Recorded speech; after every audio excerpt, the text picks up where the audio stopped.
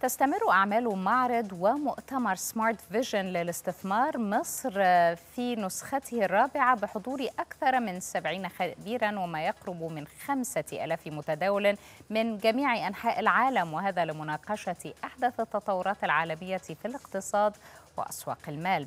ويعد المعرض الأكبر للسوق المالي وشركات البورصة العالمية والتجار في الشرق الأوسط. نتابع.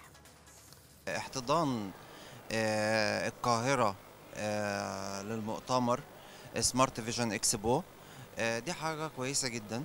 أول حاجة عدد الشركات اللي بتكون مشاركة لا تقل عن 50 أو 60 شركة تعمل في صناعة الأوراق المالية أو في صناعة الأسواق العالمية. خلينا نتكلم لما بيكون في تواجد للشركات كلها في مكان ما في نفس الوقت ده بيخلق حالة من روح التعاون. يعني النهارده الشركات الاستثمارية دي موجودة ليه؟ الشركات الاستثمارية موجودة حتى إن هي تنشر الوعي لدى المستثمرين لدى الأفراد لدى الأشخاص بكيفية الاستثمار في البورصة وفي نفس الوقت هي تستفيد لأن هو بيكون مزود الخدمة عنده. فبالتالي هناك هناك علاقة طردية يعني في علاقة ما بين الطرفين.